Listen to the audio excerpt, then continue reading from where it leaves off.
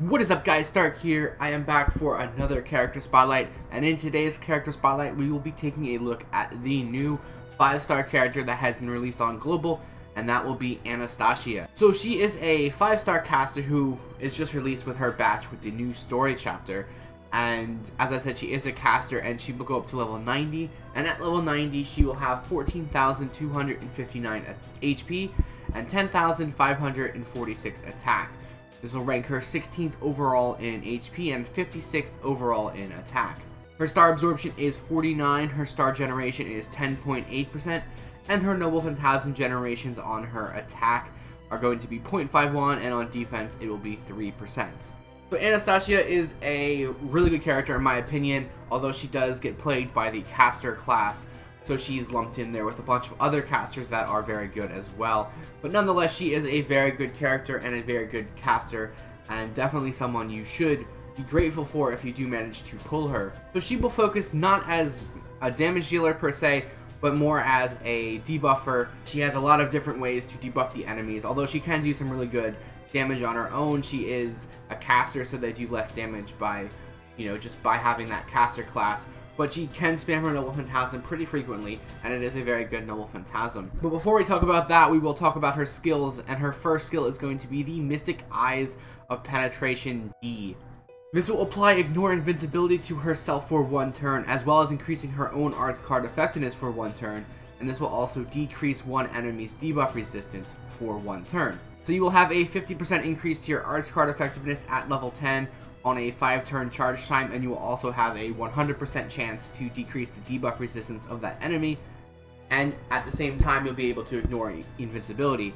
This is going to be very good since she is mainly using her arts cards to charge her Noble Phantasm, so being able to get a boost to the effectiveness is going to go a long way in getting that filled very quickly. Uh, the whole point is trying to get her to use her Noble Phantasm as quickly and as often as possible, and uh, this will still do a little bit of extra damage as well. Her second skill is going to be the Charisma of Frostbite B, which will increase all of your allies' attacks for 3 turns, as well as decreasing all enemies' attack for 3 turns. So this is a very good skill, obviously, being able to increase your attack and decrease the enemy's attack, and it is on a 5 turn charge time, so you will be able to recycle this very often, which will be very helpful because you can use it from wave to wave. There's not much else to talk about here, it is just a very good skill in my opinion, doing both. It's just an upgrade of the typical charisma skills where you just get a flat increase to your attack. You're also getting a debuff for the entire enemy team as well. And then third and finally, her third skill is going to be the Shvibzik B. This will increase her Noble Phantasm gauge, and this will also have a chance to inflict stun on that enemy for one turn. Now, I am not really a huge fan of skills that have a chance to actually work, being a 60% chance to stun. Uh, you do have a 50% increase to your gauge, so even if the stun fails, you'll still be able to get something out of it with the increase to your gauge, and that's going to get you halfway there to filling your Noble Phantasm, or potentially all the way there if you're going to use it on the first turn just for the gauge increase, and then potentially have it come back off cooldown for the boss stage. So either way, this is an effective skill one way or the other, and if you do get that stun off, it will be very beneficial to you. As for her passive, she does have two the first one being the Territory Creation EX, which will increase your arts card effectiveness by 12%. And the second one is going to be the Fairy Contract A, which will increase your debuff resistance by 10%, as well as increasing your debuff chance rate by 10%. All in all, I think Anastasia has a fantastic set of skills, although the fact that you have a percentage for the stun is a little worrying for me, so I did lose half a point there, but overall I will give her 4.5 stars for her skills. Going back and taking a look at her command cards and her Noble Phantasm. For her command cards, she has a good deck for herself with one quick, three arts, and one buster, and she has very good hit counts as well. Four on the quick, three on her arts and busters, and then five on her extra attack.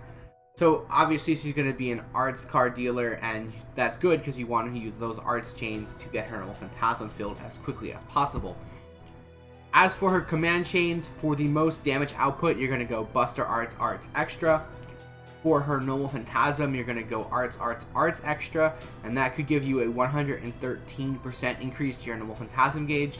Now, once again, this is incorporating her skill in, so you do have to factor in that 50% from her third skill. So either either way, you're going to get a 63% increase if you're not using that skill. That's still pretty good, and that can fill it up halfway and get you potentially to using your Noble Phantasm.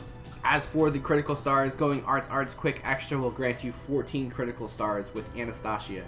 As for her Noble Phantasm, it is typically and predictably going to be an Arts card, and this will deal damage to all enemies, a pretty solid amount, but not huge, but it's not really why you're using it. You're mainly using it for the other effects, and the second effect on this Noble Phantasm will inflict Skill Seal on all enemies for one turn. So that's going to be very nice. There's no percent base there. It's just going to go right there and do it, and it's not stunning the enemy, but it's preventing them from using skills. But if you do have enemies that are using skills on you, then you do want to bring her in and prevent them from using skills, and it'll definitely make the fight a lot easier. The overcharge effect will also decrease the defense for all of those enemies for 3 turns. Looking at all of her debuffs that she has, so she can have the potential to stun an enemy. She also has the ability to stun the entire enemy's skills. She can reduce the defense of all enemies, reduce the attack of all enemies, and deal some pretty good damage on her own. And she does have a high ability to spam her Noble Phantasm pretty frequently. So that is going to be very awesome for her. Uh, she's going to be a very good character and going to go a long way in helping you beat some of those tougher fights.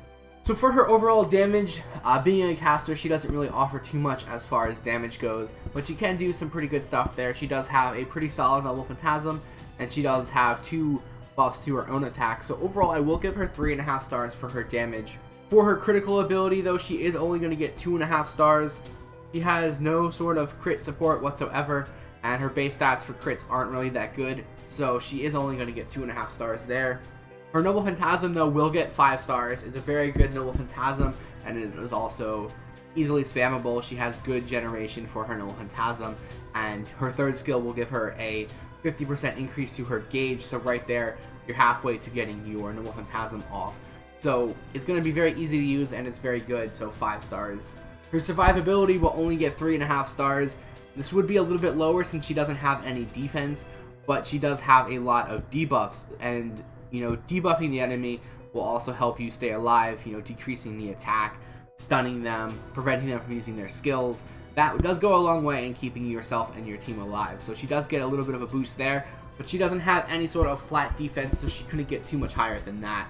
As for her versatility, I am going to give her 5 stars. She does find herself into a lot of different teams strictly just because of the debuffs that she can offer. You know, there are a lot of different situations where you want to decrease the attack, stun the enemy, reduce their defense, and then if you know the boss is going to be using skills or if anyone in that fight is going to be using skills and you're having trouble with it, you can bring her in and prevent them from doing that with her Noble Phantasm, which again is very easy to get off. So overall, she will end up with a 4 out of 5 ranking, and I do think this ranking is a little bit lower than I would normally say, but just based on the criteria that I give, the fact that she has no critical ability does drag her down a little bit, but overall I do think she is a fantastic character and definitely someone worth pulling for. So the only other thing left to talk about here is the banners that she shows up in, and unfortunately she only does make a return once throughout the course of this year and that is going to be for the third anniversary, and that will also be for the Lucky Bag Guaranteed SSR Gacha. So you're going to be testing your luck. The odds of pulling her off of that will be very low, but it is possible, so she is, you know, I am including that into this list. So that's it guys, I hope you did enjoy this character spotlight. I will have the character spotlights for the other two characters in this batch coming in the next couple of days. So feel free to check those out. Also, feel free to check out the links below to my Twitter, Twitch, Patreon, and Discord. So I will leave you here with Anastasia's Noble Phantasm, and I will see you guys next time. B すべてを見なさいすべてを射抜きなさい 我が無表にその大いなる力を手向けなさい。B B